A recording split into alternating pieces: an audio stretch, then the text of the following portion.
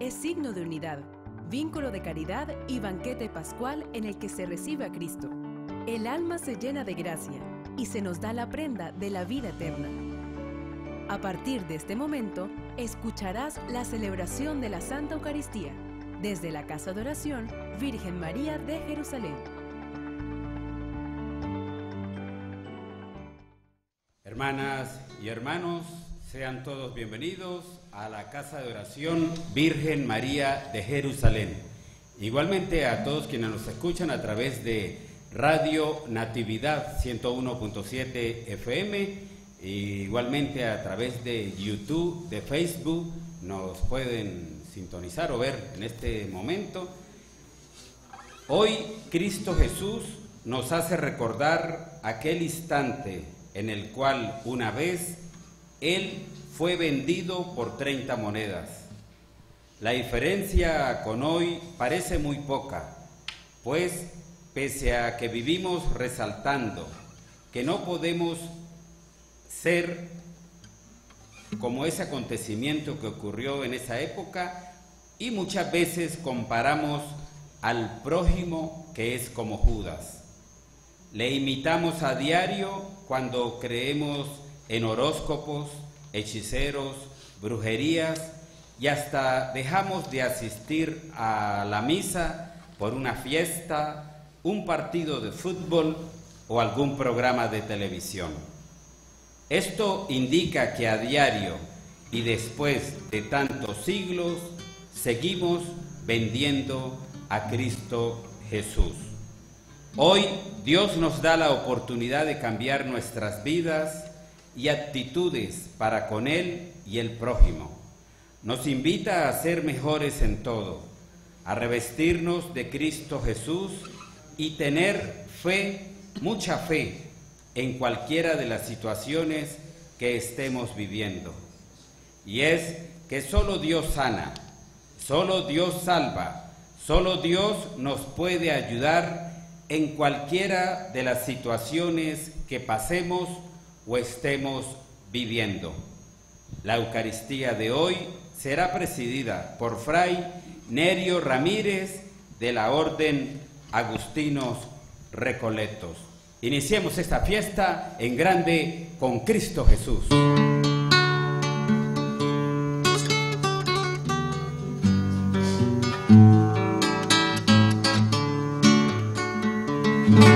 Si estás en este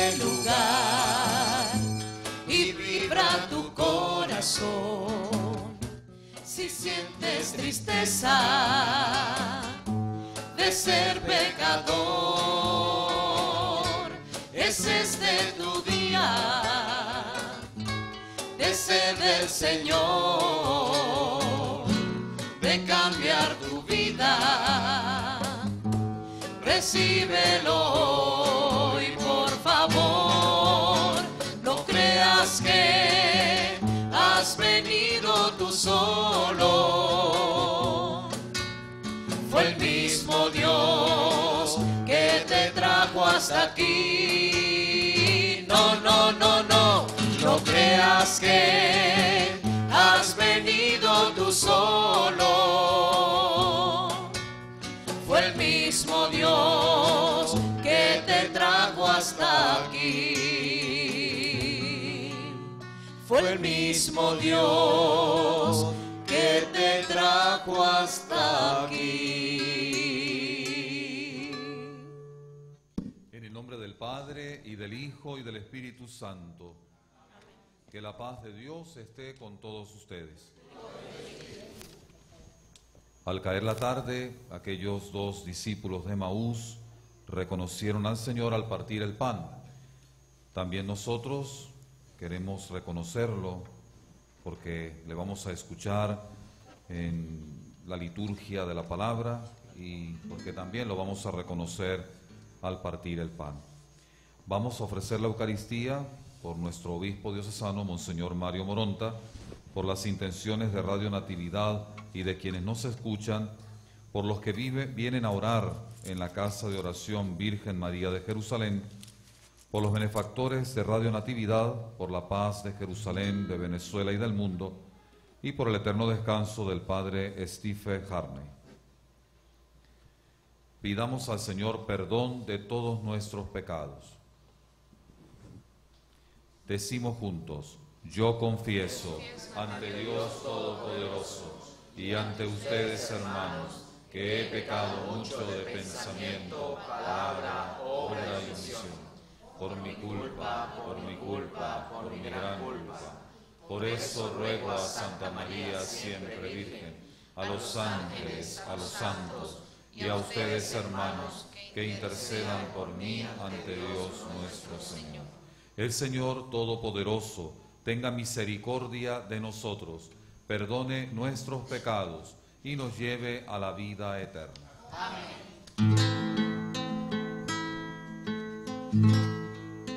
Señor, ten piedad. Señor, ten piedad.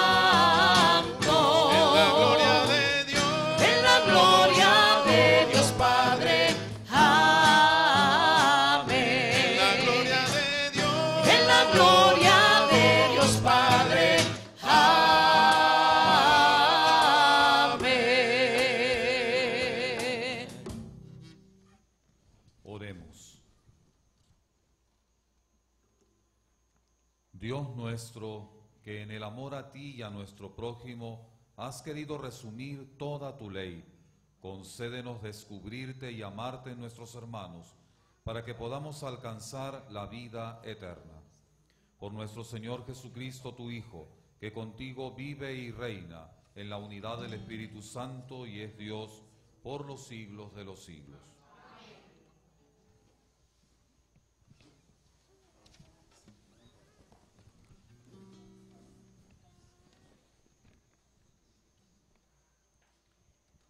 La primera lectura es tomada del profeta Amós y trata un, y trata un tema muy real con la actualidad que vivimos.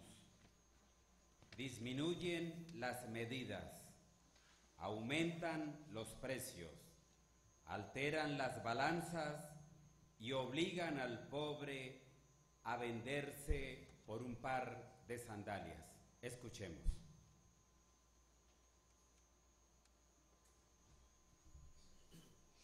Del profeta Amós. Escuchen esto lo que busca al pobre solo por arruinarlo y andan diciendo, ¿cuándo pasará el descanso del primer día del mes para vender nuestro trigo y el descanso del sábado para reabrir nuestros graneros? Disminuyen las medidas, aumentan los precios, alteran las balanzas, obligan a los pobres a venderse por un par de sandalias los compran y hasta venden el salvado como trigo. El Señor, gloria de Israel, lo ha jurado. No olvidaré jamás ninguna de estas acciones. Palabra de Dios. Te alabamos, Señor.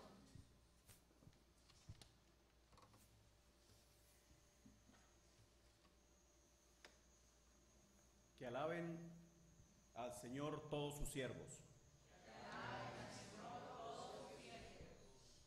Que alaben al Señor. Todos sus siervos, que alaben al Señor. Todos sus siervos. Bendito sea el Señor, alábenlo sus siervos, bendito sea el Señor, desde ahora y para siempre. Que alaben al Señor todos tus siervos. Dios está sobre todas las naciones, su gloria por encima de los cielos. ¿Quién hay como el Señor? Que alaben al Señor todos sus siervos. Él tiene en las alturas su morada, y sin embargo de esto, bajar se digna su mirada tierra y cielo. Que alaben al Señor todos sus siervos. Él levanta el polvo al desvalido y saca al indigente del estiércol para hacerlo sentar entre los grandes. Que alaben al Señor todos sus siervos, que alaben al Señor todos sus siervos. La segunda lectura pertenece a la primera carta del apóstol San Pablo a Timoteo. Dice, hagan oraciones y plegarias por todos los hombres y en especial por los jefes de Estado y demás autoridades para que hagan bien su trabajo y podamos llevar una vida tranquila, en paz y entregada a Dios. Escuchemos. Lectura de la primera carta del apóstol San Pablo a Timoteo. Te ruego, hermano, que ante todo se hagan oraciones, plegarias, súplicas y acciones de gracias por todos los hombres y en particular por los jefes de Estado y las demás autoridades, para que podamos llevar una vida tranquila y en paz, entregada a Dios y respetable en todo sentido. Esto es bueno y agradable a Dios nuestro Salvador, pues Él quiere que todos los hombres se salven y todos lleguen al conocimiento de la verdad, porque no hay sino un solo Dios y un solo mediador entre Dios y los hombres, Cristo Jesús, hombre Él también, que se entregó como rescate por todos.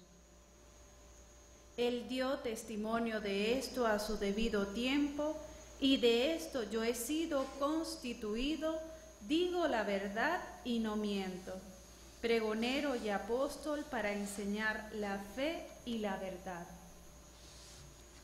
Quiero pues que los hombres, libres de odios y divisiones, hagan oración donde quiera que se encuentren, levantando al cielo sus manos puras.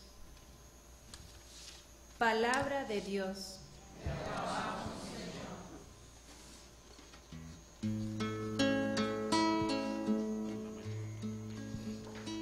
Cuando escuches la voz del Señor que está hablándole a tu corazón, no te resistas ni quieras seguir como un rebelde. Entra Jesús, toma mi vida, toma mi ser, que es para ti, y entre tus brazos quiero sentir cuánto me amas.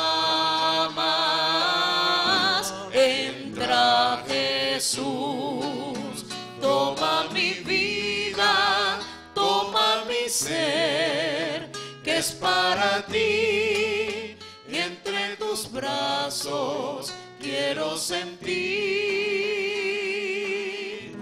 cuánto me amas.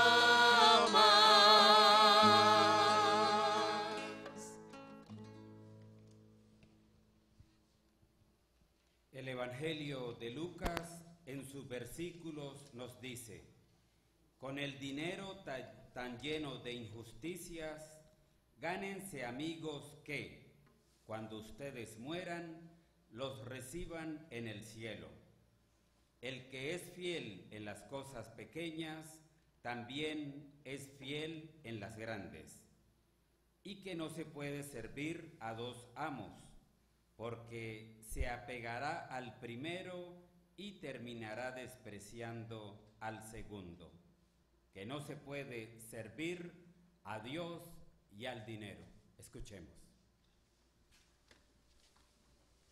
El Señor esté con ustedes. Del Santo Evangelio según San Lucas. En aquel tiempo Jesús dijo a sus discípulos, había una vez un hombre rico que tenía un administrador, el cual fue acusado ante él de haberle malgastado sus bienes. Lo llamó y le dijo, ¿es cierto lo que me han dicho de ti? Dame cuenta de tu trabajo, porque en adelante ya no serás administrador. Entonces el administrador se puso a pensar, ¿qué voy a hacer ahora que me quitan el trabajo? No tengo fuerzas para trabajar la tierra y me da vergüenza pedir limosna. Ya sé lo que voy a hacer para tener a alguien que me reciba en su casa cuando me despidan. Entonces fue llamando uno por uno a los deudores de su amo. Al primero le preguntó, ¿cuánto le debes a mi amo? El hombre respondió, cien barriles de aceite. El administrador le dijo, toma tu recibo, date prisa y haz otro por cincuenta. Luego preguntó al siguiente, ¿y tú cuánto debes? Este respondió, cien sacos de trigo. El administrador le dijo, toma tu recibo y haz otro por ochenta. El amo tuvo que reconocer que su mal administrador había procedido con habilidad, pues los que pertenecen a este mundo son más hábiles en sus negocios que los que pertenecen a la luz. Y yo les digo, con el dinero tan lleno de injusticias, gánense amigos, que cuando ustedes mueran los reciban en el cielo. El que es fiel en las cosas pequeñas, también es fiel en las grandes. Y el que es infiel en las cosas pequeñas, también es infiel en las grandes. Si ustedes no son fieles administradores del dinero, tan lleno de injusticias, ¿quién les confiará los bienes verdaderos? Y si no han sido fieles en lo que no es de ustedes, ¿quién les confiará lo que sí es de ustedes? No hay criado que pueda servir a dos amos, pues odiará a uno y amará al otro, o se apegará al primero y despreciará al segundo. En resumen, no pueden ustedes servir a Dios y al dinero. Palabra del Señor. Gloria a ti, Señor Jesús.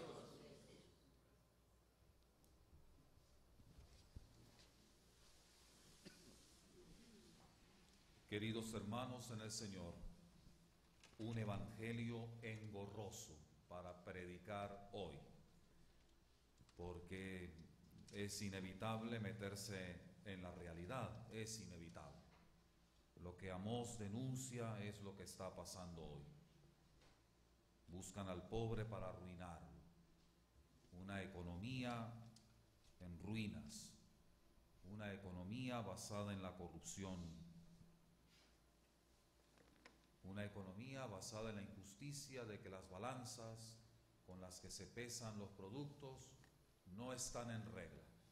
Sabemos de mercados, también aquí en el Táchira, ¿verdad? Sabemos de mercados que en este particular pone las balanzas y las pesas de manera que pierda la persona que compra.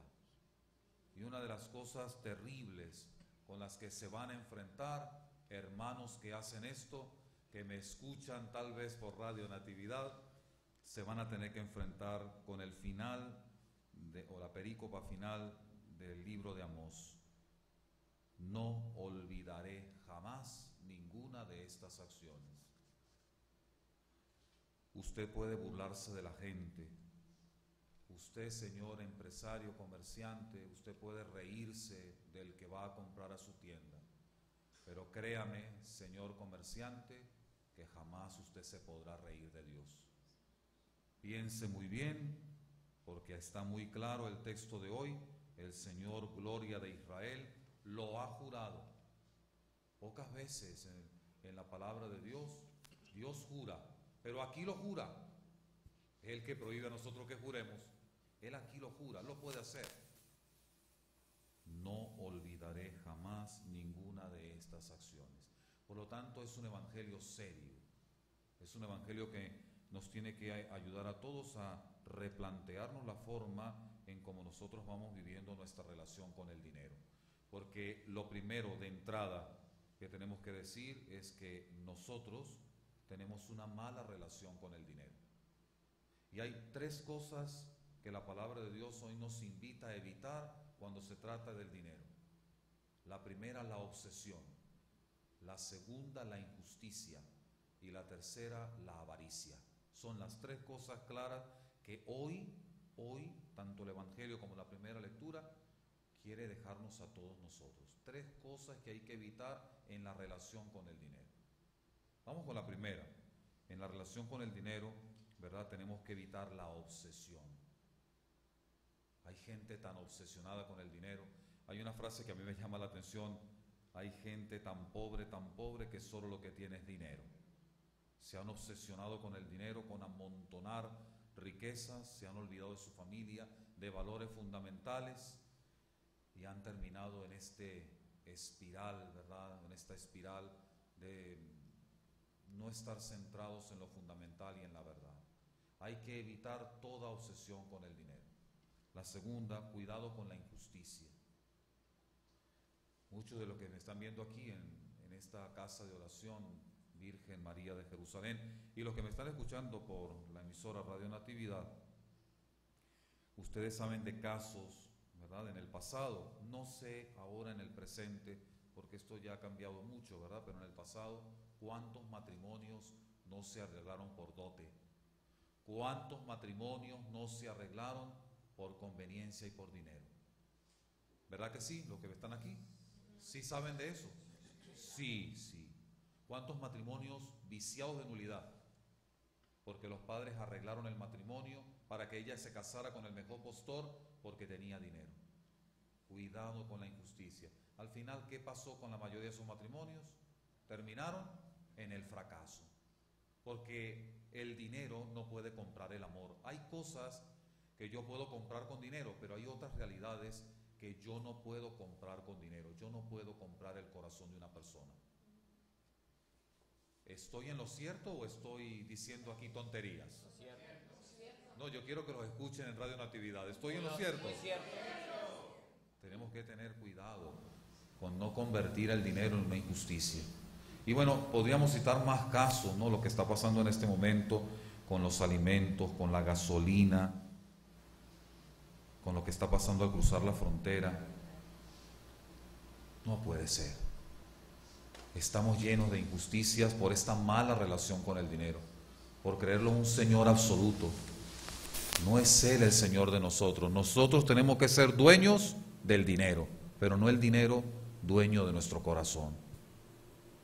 Y tercero, la avaricia. Hace unos momentos le preguntaba a alguno de los que están aquí en Radio Natividad, ¿qué significa esta expresión aquí en el Táchira? Uy, esa persona sí es, o este hombre sí es agarrado. Porque no dicen agarrado, sino agarrado. Hay que poner la palabra en, castellano, ¿no? ¿Qué significa esa expresión? Este hombre sí es agarrado. ¿Qué significa? Que es tacaño, que es pichirre, ¿verdad? Que no da nada. Hay que evitar también eso, el dinero para que eh, sea una bendición y no sea una maldición en tu vida, tiene que fluir a través de tus manos, tiene que darse, tiene que estar en generosidad. San Pablo tiene un texto en una de las cartas muy bonito que dice, el que siembra tacañamente, tacañamente cosechará. El que siembra generosamente, generosamente recogerá. Entonces se nos invita a que el dinero fluya en nuestras manos en la generosidad. Una de las cosas que a mí me sorprenden es que para organizar cosas malas siempre hay dinero pero para las cosas buenas, ¿cómo cuesta? Nosotros los párrocos, ¿verdad? Decidimos hacer una obra en la iglesia, pintar la iglesia, ponerla bonita, y nos cuesta dos años poder hacerlo. Sin embargo, montan una casa de citas o un hotel para cosas malas y en medio año se hace todo. Increíble, ¿no? O sea, para unas cosas eh, estamos dispuestos, o hay mucha gente que está dispuesta a darlo todo y a invertir, pero para la fe, para las cosas buenas, para ayudar al otro, entonces nosotros nos cerramos. Y buscamos toda clase de, de prejuicios, ¿no? Para hacerlo, ¿no? Esos curas se roban la plata de la alcancía. No, esos curas se roban la plata de la limosna.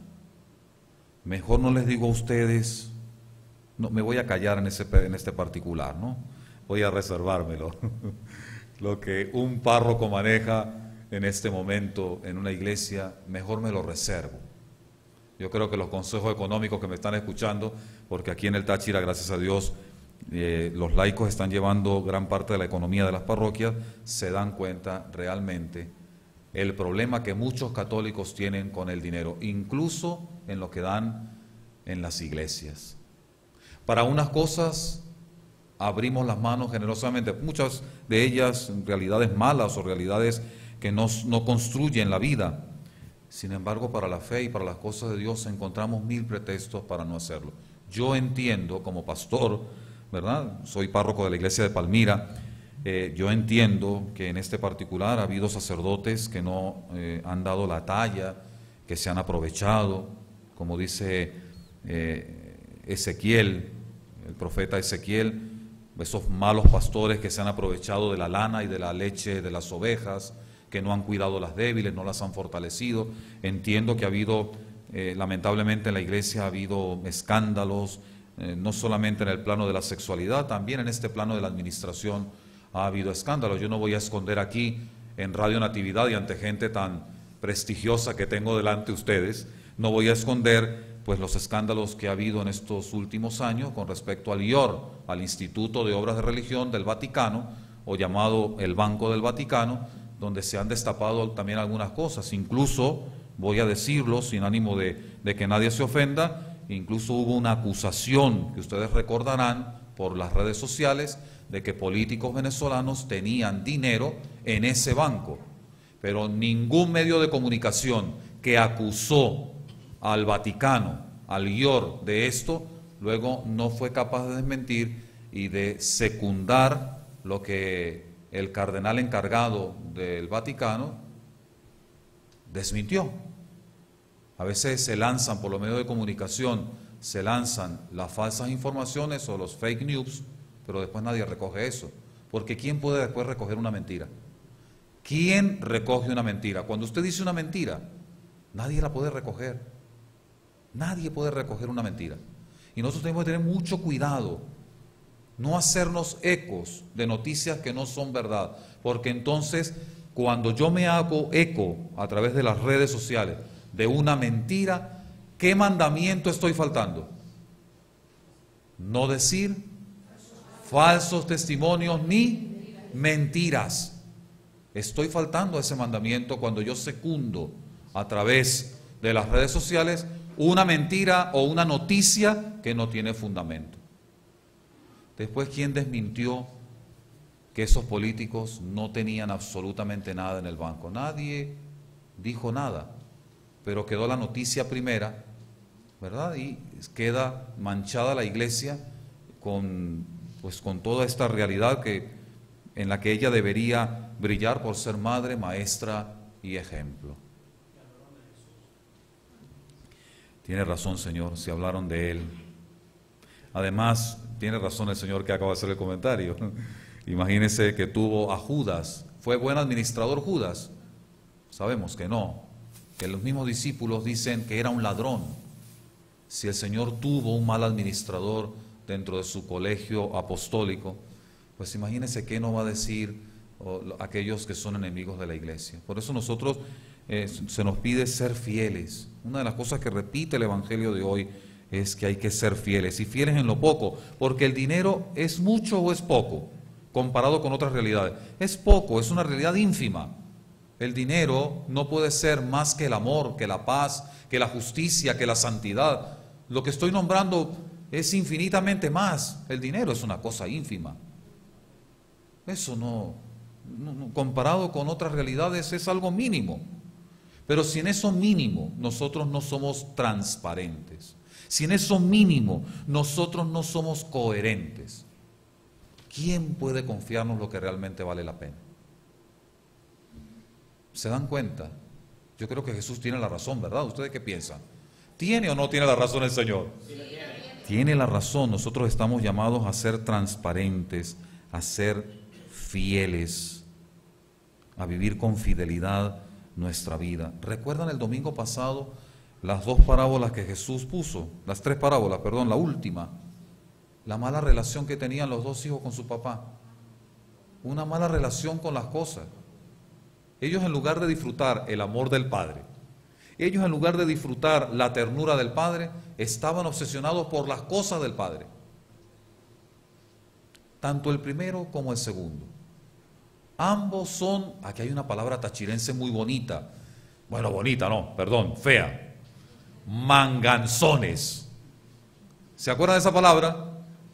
Eso eran estos dos, tanto el hermano menor como el hermano mayor, obsesionados por, el, por las cosas del padre. El uno por la herencia, el otro por, por los animalitos que no le, le dejaba el padre disfrutarlo con los amigos. Había una mala relación con las cosas del Padre. Y ellos estaban perdiendo de la ternura y del amor del Padre. ¿Se dan cuenta cómo el Evangelio también hoy es muy actual? ¿Cuántas veces las familias se destruyen por el dinero, por la herencia de los padres? A mí me causa eso terror, me causa horror. Él y ella se casaron y fíjense que cuando en el matrimonio católico, después de los anillos, ¿qué se imponen los, los novios cuando se casan? ¿Qué se dan el uno al otro? Después de imponerse los anillos, ¿qué se entregan? Las arras. ¿Y qué son las arras? son los signos de los bienes que vamos a compartir, ¿sí o no? Eso dicen los novios cuando se casan. Se entregan las arras y dicen, estos son los signos de los bienes que vamos a compartir. Oye, y se mueren ellos y los hijos después se pelean por cuatro lochas que hay. Bueno, la locha ya no existe, ¿no? Yo como que estoy desactualizado. Se pelean por, por el dinero que queda en la cuenta bancaria o se pelean por el carro, se pelean por la casa y se arman divisiones y algunos hasta llegan al homicidio. O sea, lo que comenzó con amor, ¿por qué termina con división? Por el cochino dinero. Lo que empezó con gran ternura, con un proyecto que iba más allá del dinero, de amasar dinero, sino ambos padres pues lucharon, trabajaron, se esforzaron. ¿Y cómo los hijos no copian ese ejemplo para vivir ellos entre sí la unidad? Como hermanos. Terminan después peleándose por el dinero, peleándose por la casa, peleándose por el carro, peleándose por realidades que no pueden hacer feliz a un hombre o a una mujer. Necesitamos replantearnos seriamente en este momento, aquí en nuestra diócesis del Táchira, en San Cristóbal, en, en el Táchira, necesitamos replantearnos cómo estamos relacionándonos con el dinero. Tenemos que construir una economía más justa y tenemos que luchar porque realmente en nuestro país brille la transparencia. Nosotros no podemos seguir pensando o eligiendo a políticos para que roben, para que nos quiten nuestros sueños, para que nos frustren la esperanza. No podemos permitirnos esto de cara al futuro. Nosotros tenemos que luchar porque haya transparencia, porque las cuentas estén claras, pero comenzando por nosotros mismos, claro, porque antes de exigírselo a otros, primero tiene que ser una exigencia personal. Yo pienso que es a esto a lo que nos invita la palabra. Sé que el Evangelio de hoy es complicado, duro, hace referencia a lo que estamos viviendo. ¿Cómo no sentir en este momento la frustración, el dolor de tantos que han tenido que pasar esta frontera peligrosa para ir a Colombia y de Colombia irse a otros lugares para poder sostener a los que se quedan aquí? Porque la economía aquí ya es una economía que, que ahoga a la persona. Y entonces muchos han tenido que irse, muchos han tenido que abandonarse. Tantos padres que se han quedado solos, solos. Y todo porque no se ha construido una economía en base a la justicia, porque hemos construido una sociedad hipócrita, hipócrita, con un perfil político que dice yo voy a defender al pobre, pero las opciones económicas hunden cada vez más al pobre. Y esto nos está empobreciendo, no solamente en el bolsillo. Yo creo que esa pobreza, bueno, pudiese ser tolerable. La pobreza terrible que estamos viviendo es la de la cabeza, la de no tener criterios, la de sumirnos en, en la desesperanza, en la desunión, la de no construir un pueblo hermano. Yo creo que Hoy el Evangelio toca la fibra más profunda de lo que nosotros estamos viviendo aquí en Venezuela. ¿Les parece? No me estoy metiendo en política, ¿no? Porque yo no, a mí no me gusta meterme por estos caminos eh, un tanto espinosos. Yo entiendo que cada quien tiene el derecho de pensar como quiera pensar. Yo soy el primero que quiero vivir esta, esta bienaventuranza, una nueva bienaventuranza, ¿no? La bienaventuranza de saber aceptar al otro más allá de que piense distinto a lo que yo pienso porque tenemos que convertir esto en un camino de bienaventuranza, en un camino de encuentro, no de desencuentro. Ojalá que el Señor nos dé la sabiduría para saber administrar lo más importante, saber administrar nuestros sentimientos, administrar nuestra vida, administrar lo que realmente vale la pena. Porque es allí donde también nosotros tenemos que ser fieles, en lo pequeño y en lo grande. En todo tenemos que vivir la fidelidad a Dios, porque una de las cosas que cantamos, ¿verdad? Muy bonito es que Dios es fiel. Tu fidelidad es grande. Tu fidelidad es inmensa. Y ese es el modelo que nosotros estamos llamados a vivir y a seguir. Que así sea. Amén. Creo en Dios Padre Todopoderoso, Creador del cielo y de la tierra. Creo en Jesucristo, su único Hijo, nuestro Señor que fue concebido por obra y gracia del Espíritu Santo. Nació de Santa María Virgen, padeció bajo el poder de Poncio Pilato, fue crucificado, muerto y sepultado, descendió a los infiernos, al tercer día resucitó de los muertos, subió a los cielos, está sentado a la derecha de Dios Padre Todopoderoso. Quiero juzgar a vivos y muertos. Creo en el Espíritu Santo, en la Santa Iglesia Católica, en la comunión de los santos, en el perdón de los pecados, en la resurrección de la carne y en la vida eterna. Amén. Hermanos, elevemos hacia Dios nuestras plegarias por toda la humanidad, pues Él quiere que todos se salven y lleguen al conocimiento de la verdad. Digámosle, te lo pedimos, Señor.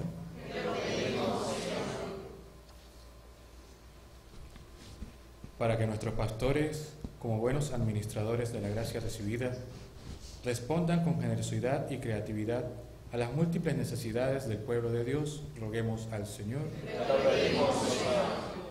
Para que se multipliquen en la iglesia y en el mundo las iniciativas a favor de los más débiles, los que se van quedando al margen del camino, en medio de la indiferencia, de los poderosos y egoístas, roguemos al Señor.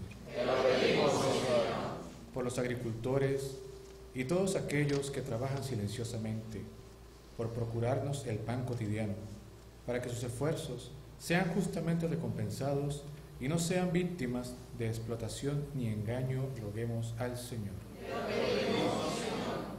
Por todas las personas que de un extremo al otro de la tierra necesitan una bendición del Señor, un apoyo en sus fatigas, un consuelo en sus tristezas, una mano amiga en sus soledades, roguemos al Señor. Para que todos los venezolanos podamos llevar una vida tranquila y apacible, con piedad y decoro, donde ni la violencia ni la injusticia puedan destruir la obra buena, que es fruto de la gracia de Dios, roguemos al Señor. Todo esto, Padre, te lo pedimos con fe, por Jesucristo nuestro Señor.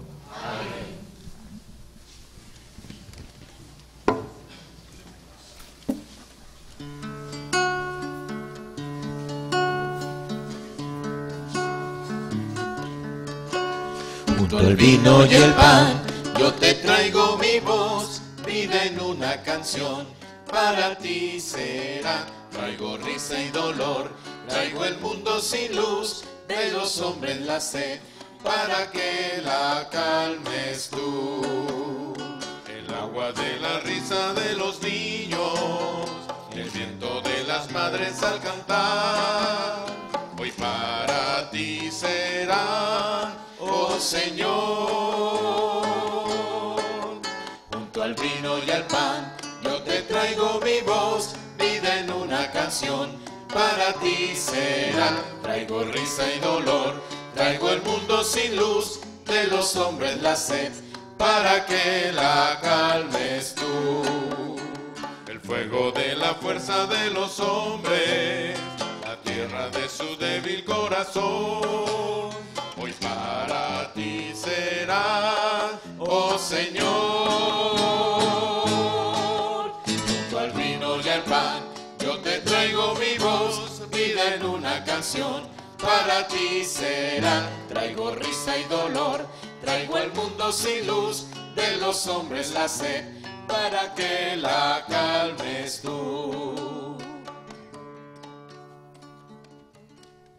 Oren hermanos para que este sacrificio nuestro sea agradable a Dios Padre Todopoderoso.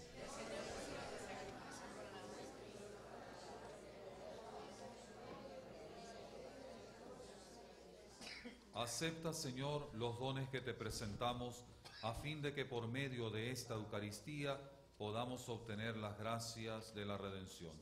Por Jesucristo nuestro Señor. El Señor esté con y ustedes. con tu espíritu. Levantemos el corazón. Lo tenemos levantado hacia el Señor. Demos gracias al Señor nuestro Dios. Es justo y necesario. En verdad es justo y necesario, es nuestro deber y salvación darte gracias siempre y en todo lugar, Señor Padre Santo, Dios Todopoderoso y Eterno, por Cristo Señor nuestro, quien por su misterio pascual realizó la obra maravillosa de llamarnos del pecado y de la muerte al honor de ser estirpe elegida, sacerdocio real, nación consagrada, pueblo de su propiedad, para que trasladados de las tinieblas a tu luz admirable, proclamemos ante el mundo tus maravillas. Por eso con los ángeles y los arcángeles y con todos los coros celestiales cantamos sin cesar el himno de tu gloria.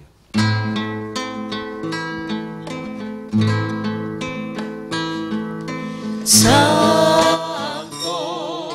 santo, santo es el Señor Dios del universo. Llenos están el cielo y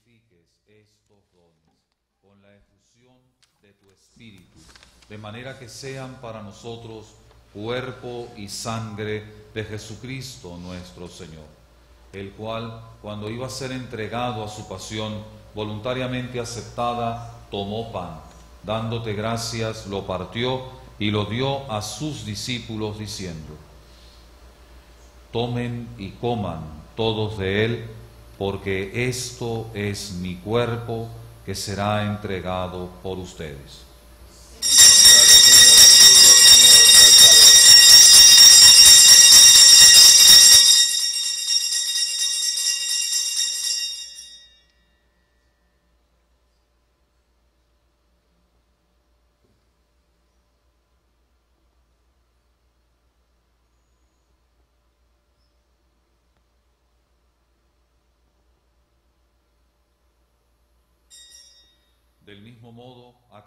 Cena, tomó el cáliz y dándote gracias de nuevo, lo pasó a sus discípulos, diciendo, tomen y beban todos de él, porque este es el cáliz de mi sangre, sangre de la alianza nueva y eterna, que será derramada por ustedes y por muchos para el perdón de los pecados. Hagan esto en conmemoración mía.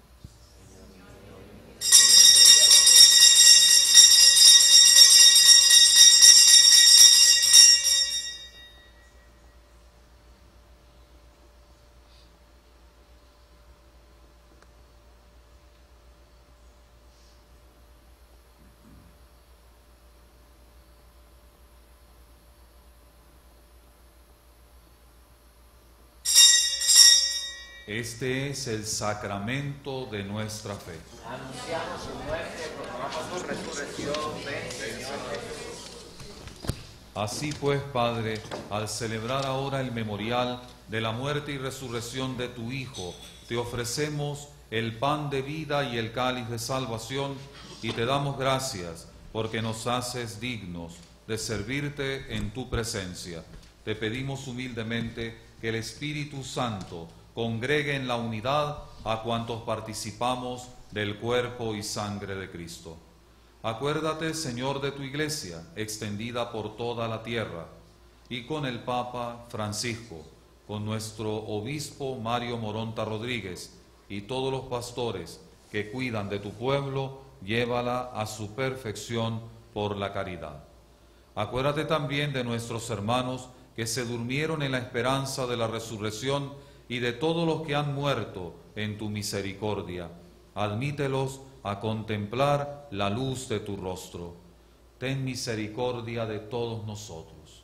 Y así con María, la Virgen Madre de Dios y Madre nuestra, San José, los apóstoles, y cuantos vivieron en tu amistad a través de los tiempos, merezcamos por tu Hijo Jesucristo compartir la vida eterna y cantar tus alabanzas.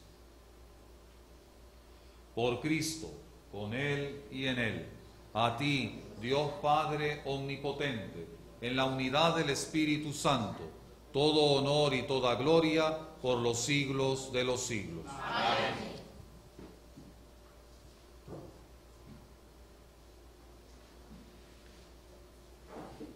El Padre lo es todo. Hacia Él confluye también nuestra oración y la entrega de su Hijo en la Eucaristía. Ese Padre bueno y tierno al que hoy reconocemos.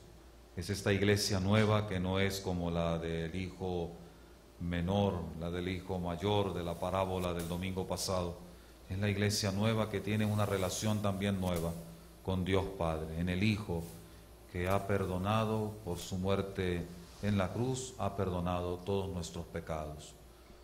Así que nosotros con un corazón lleno de alegría decimos, Padre nuestro que estás en el cielo, santificado sea tu nombre. Venga a nosotros tu reino. Hágase tu voluntad, así en la tierra como en el cielo.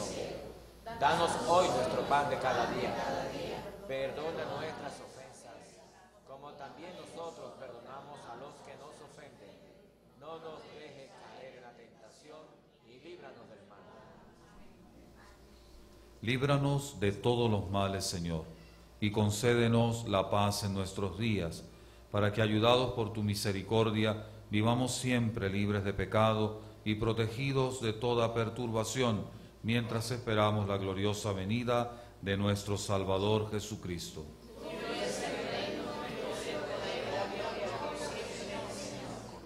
Señor Jesucristo, que dijiste a tus apóstoles, la paz les dejo, mi paz les doy. No tengas en cuenta nuestros pecados. Mira la fe de tu iglesia y conforme a tu palabra, concédele la paz y la unidad. Tú que vives y reinas por los siglos de los siglos. La paz del Señor esté siempre con ustedes.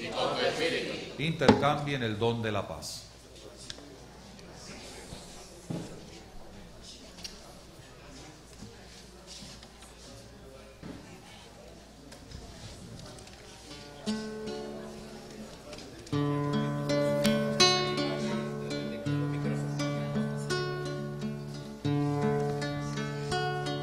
Cordero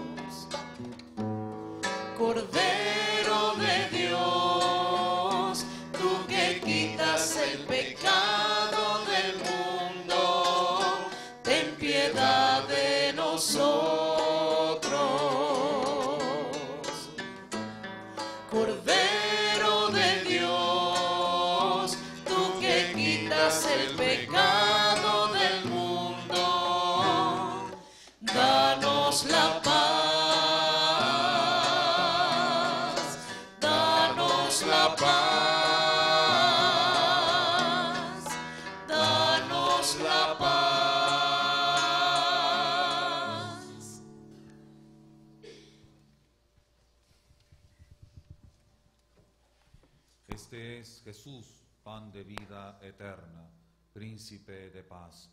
Dichosos los invitados a este banquete de amor. Señor, yo no soy digno de que entres en mi casa, pero una palabra tuya bastará para. El cuerpo de Cristo guarde nuestras almas para la vida eterna.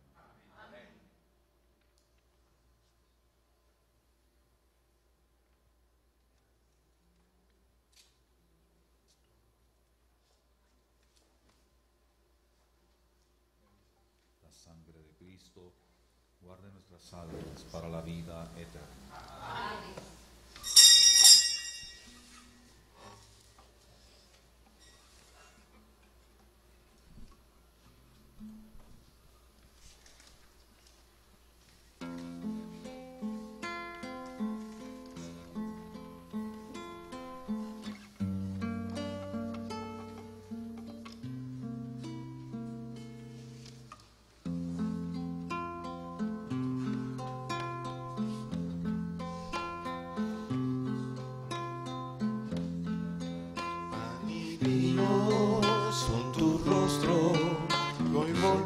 nos ha tocado tu mirada que curaba, de nuevo nos sanará.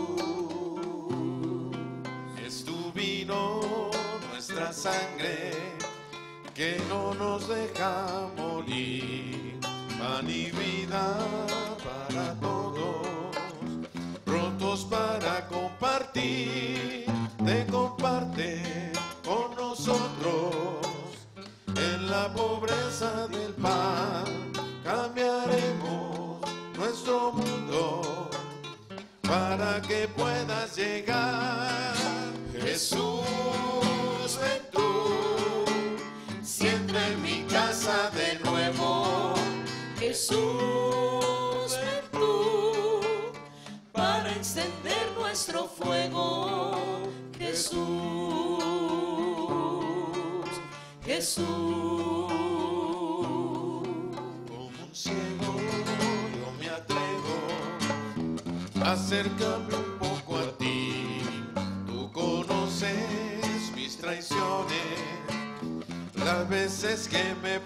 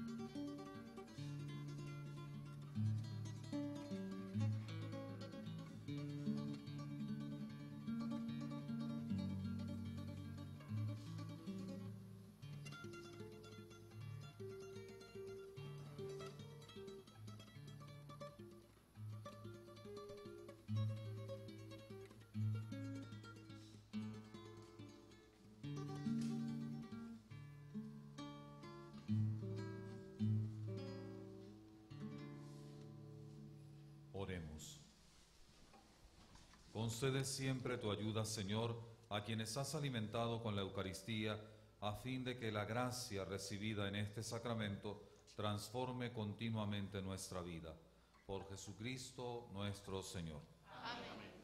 El Señor esté con ustedes. Vamos a honrar a nuestra Madre, la Virgen María, Madre de Jerusalén, diciendo juntos, Dios te salve María. Llena eres de gracia, el Señor es contigo. Bendita tú eres entre todas las mujeres, y bendito es el fruto de tu vientre, Jesús. Santa María, Madre de Dios, ruega por nosotros los pecadores, ahora y en la hora de nuestra muerte. Amén. Virgen María, Madre de Jerusalén, ruega por nosotros. Y la bendición de Dios Todopoderoso, Padre, Hijo y Espíritu Santo, descienda sobre ustedes, sobre sus familias y les acompañe siempre. Amén. Podemos ir en paz. Demos gracias al Señor.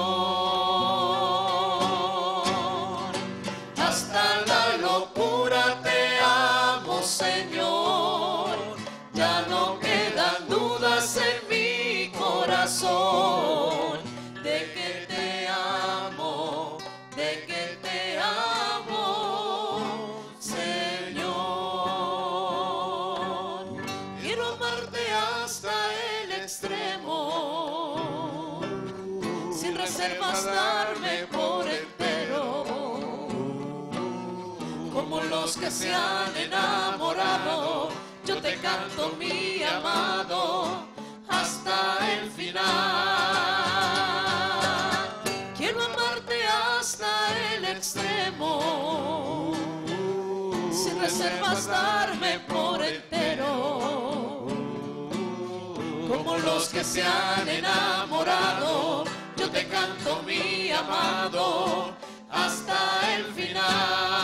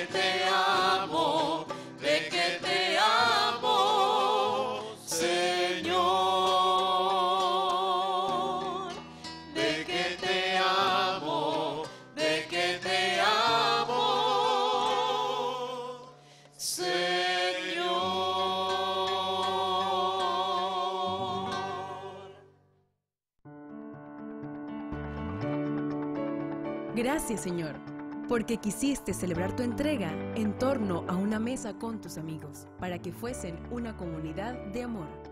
Radio Natividad transmitió la celebración de la Santa Eucaristía desde la Casa de Oración Virgen María de Jerusalén.